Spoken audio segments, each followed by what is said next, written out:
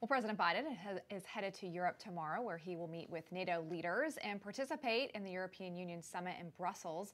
Then he's headed to Poland to meet with the president of Poland, Duda, on Saturday. Well, our next guest just returned from Poland with a congressional oversight group, and we hope to be joined soon by South Carolina Congresswoman Nancy Mace.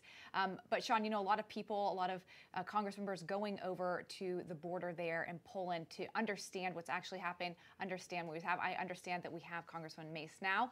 Welcome back to the show, uh, Congresswoman. Good to see you. Um, love to get your reaction to what you saw while you were in Poland. The human. It's devastating to to witness. We toured uh, refugee facilities in Poland.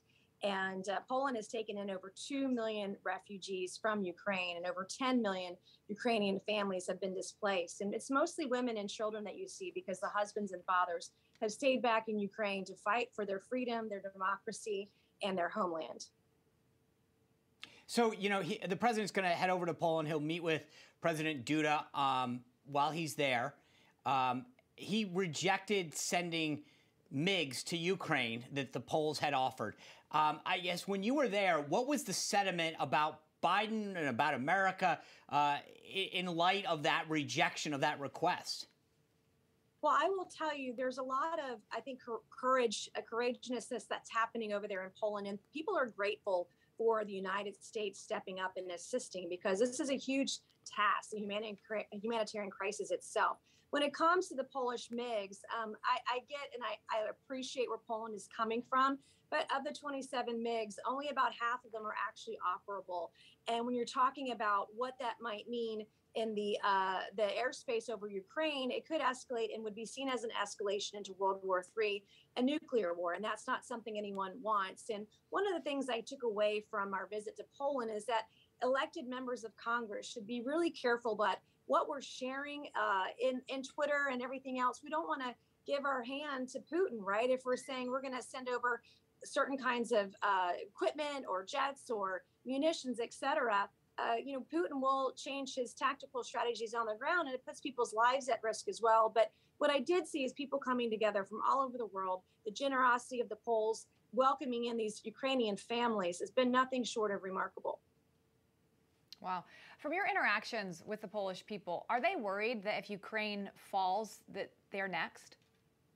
I think that's the sentiment likely, and mostly in the media reports uh, that I've seen of, of, our NATO allies that border either Russia or Ukraine. There is concern that they could be next over time. But I will tell you, looking at this particular invasion by Russia and the way that the Ukrainian people are fighting back, Vladimir Putin wasn't expecting this. When he invaded Georgia in 2008, they rolled over in about 12 days. When he invaded Crimea, it was about a month and six days. But Ukraine uh, there's no end in sight here. And as long as they have the arms and the defense equipment to defend themselves, it looks like they're going to be able to, to push back pretty strong. And we saw earlier today in media reports that they took back a neighborhood in Kiev. Uh, and so that's progress for the Ukrainian people. But make no mistake, um, this is a crisis of massive proportions. It does affect the United States from a supply chain perspective.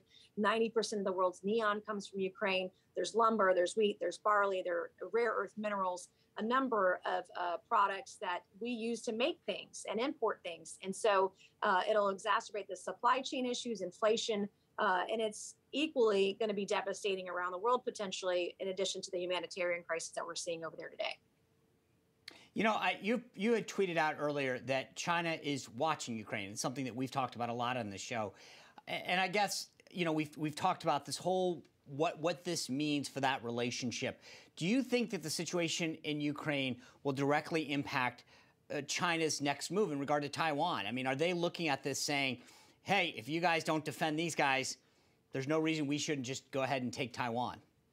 Absolutely. And that's why it's so important to isolate Vladimir Putin and Russia economically uh, as swiftly as possible. And that means ensuring that there's no bank that can use the SWIFT system, that they're out of the Swiss banking system, that we isolate every single member of the oligarchy that surrounds Putin, make it extremely painful. Every $300 million yacht that we see in Italy and elsewhere uh, should be taken as well. Make it so painful for them that they can't continue to fight. And I read a report today that Russian soldiers were going to run out of food and subsistence soon. And so we want to make it as painful as possible so Putin will rethink this and and uh, see some sort of an off ramp because right now I don't think there's an end in sight. Uh, the threats that he's making are, are, threats that we should consider that are real, and I do not want to see China do a deal with Russia to sustain Russia to continue this war. And that's something we're going to think long and hard if China does a deal either on oil and gas or other imports from Russia to help them economically. How are we going to respond? And China absolutely is watching, and it's important that we come together, Republicans and Democrats alike. And you saw that last week. It was Republicans and Democrats joining together in bipartisan arms to put pressure on on President Biden to ban the imports of Russian oil and gas, and it worked. And we need to continue to put that pressure on President Biden to continue broader sanctions packages like President Zelensky has asked for. Um, you know, Congressman, Congressman, when you when you were coming on, I, I was thinking to myself, um, and I don't mean to put you on the spot on this, but you were a, you broke a huge barrier. You were the first woman to attend the Citadel, um, and there's been a lot of discussion in the last week about this woman, Lia Thomas, who um, won this NCAA title, and a lot of debate whether that was acceptable or not or proper. Um, and I started to think about this: is if she or he should be registered for the draft, right? If they if that's something that should be debated. I know Congress was talking about whether women should register for the draft, but if she is was a man and now transition, would that still qualify as having to, to register for the draft? I mean, I, I, don't mean to put you on the spot, but it was something that I thought, as someone who has broken a barrier, uh, been involved in the armed services, wh- where do you think we should come down on something like that? Well, I support the draft for for every American. If we're if we're even going to have a draft, there's some argument on whether we should have one or not, and I I'm open to to debate on that. But if we are going to have a draft, I don't want to that to communicate to my daughter that she's not good enough, right? Uh, I have many members, most members of my family, men and women, who wear the uniform. And in fact, I have family that have been deployed because of the invasion in Russia. And in fact, one of my family members is going to miss the birth of his son because of his deployment. And so uh, in terms of my family, we're, we're equal opportunity there. Men and women both serve in our family, and I'm, and a huge supporter of that. But I'm going to tell you, I uh, grew up a swimmer. I was a double A swimmer growing up, and you seeing the barriers that women have broken in sports and business and at the Citadel and elsewhere. Uh, we need, you know, women need to know that they can succeed, that they can achieve, and that some man isn't going to get in the way of that. And uh, this is an important discussion for us to have in our communities, in our schools, in our culture, and around the country. Congresswoman Nancy Mace, I really appreciate it. Thank you. Thank you.